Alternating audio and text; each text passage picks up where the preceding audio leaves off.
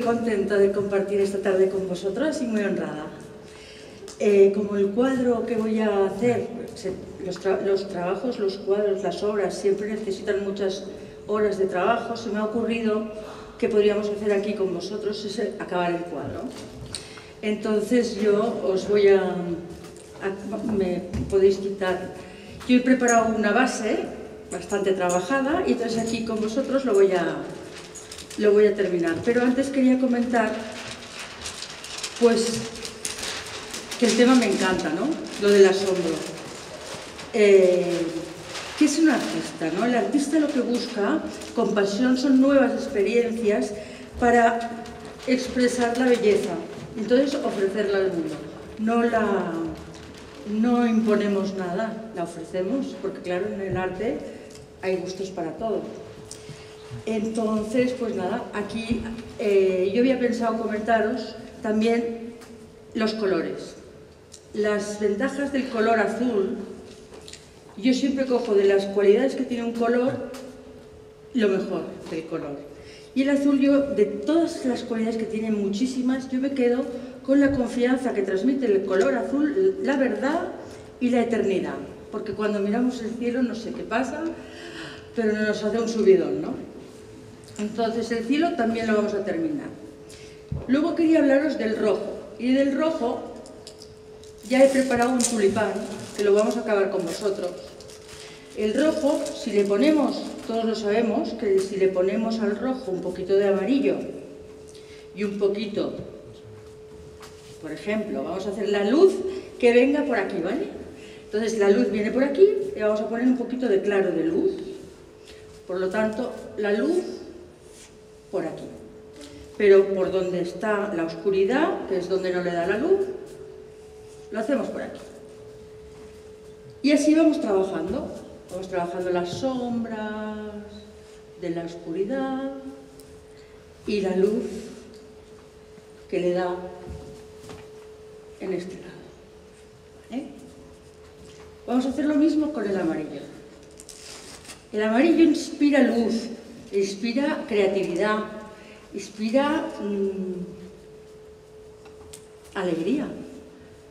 Yo lo que quiero transmitir en mis cuadros es eso, que produzca todo, todo lo bueno que tienen los colores, que cuando la gente mire un cuadro le vengan todas las cualidades que tienen los colores. Entonces, también voy a hacer un poquito de toque al azul, al verde, ahí, al amarillo, y le voy a poner la luz.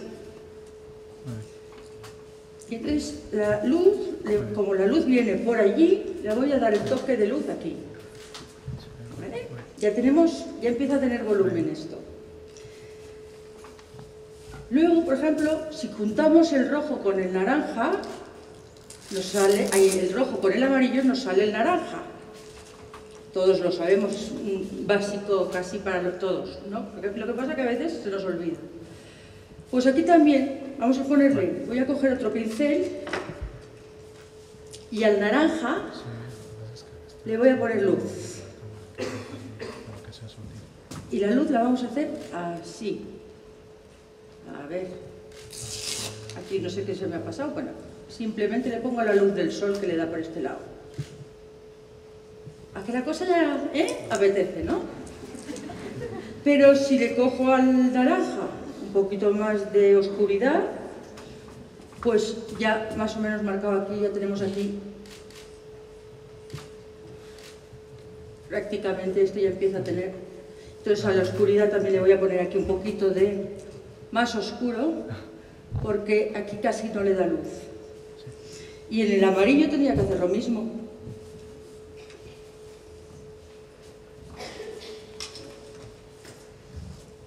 Podríamos poner aquí también un poquito de naranja, luego lo escurriremos un poquito más. ¿Qué pasa si cogemos el rojo y le ponemos un poquito de azul y blanco? ¿Nos sale el fucsia? Además, si os fijáis, en la naturaleza a mí me impacta... La fuente principal de inspiración en mi pintura es la naturaleza, pero creo que a casi todos los artistas les pasa lo mismo. Podéis pensar, esto es muy chillón, Es demasiado fuerte. ¿Os habéis fijado en los colores de un tulipán, por ejemplo? Es que más fuerte que esto no es, es muchísimo más, porque la pigmentación natural es la mejor pigmentación que existe. Entonces en el, en el fucsia, que lo hemos juntado con blanco y rojo y un poquito de azul, yo le voy a dar un poquito de luz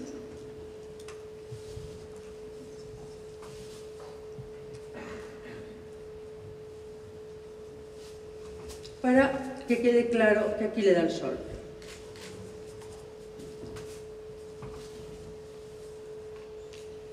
Y para el color de la suavidad, el, el fucsia se le aplica mucho al color de la mm, espiritualidad y de la nobleza, en los dos sentidos de la palabra nobleza.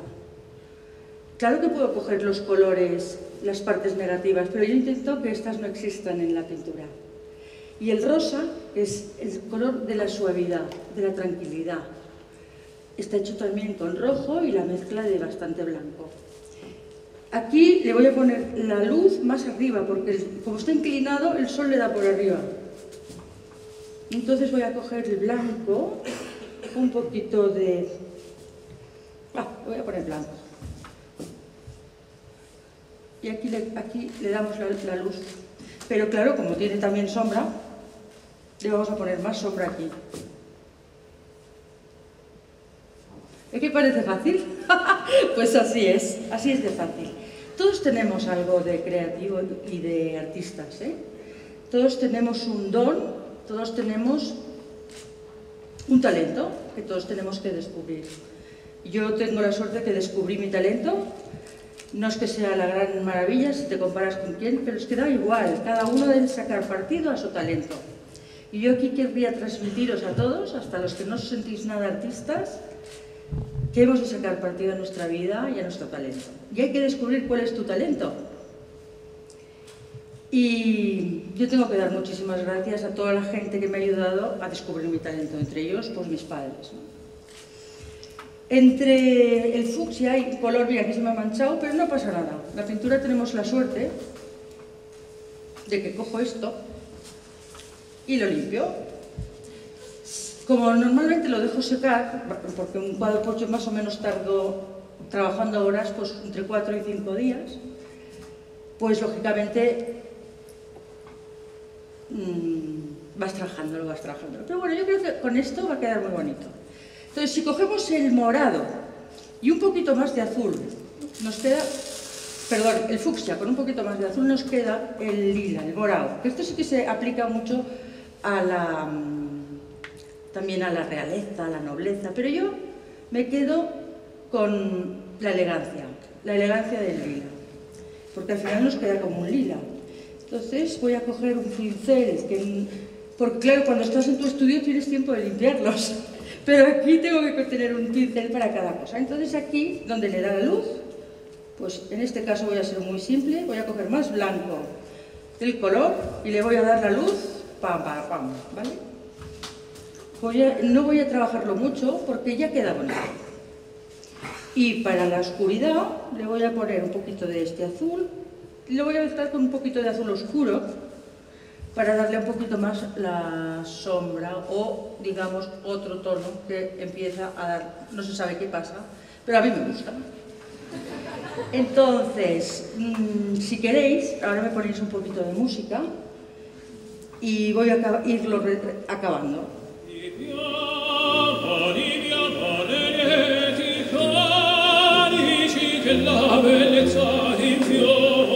No, no, no, no.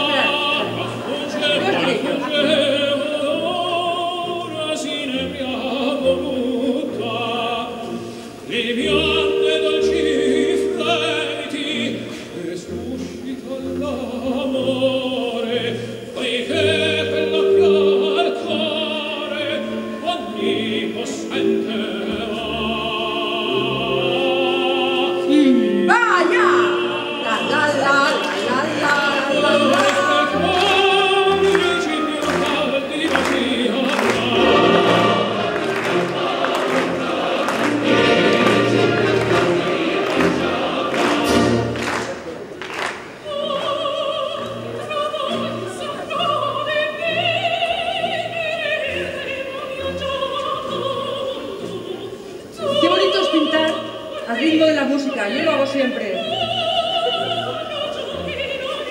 te salen pinceladas que no harías.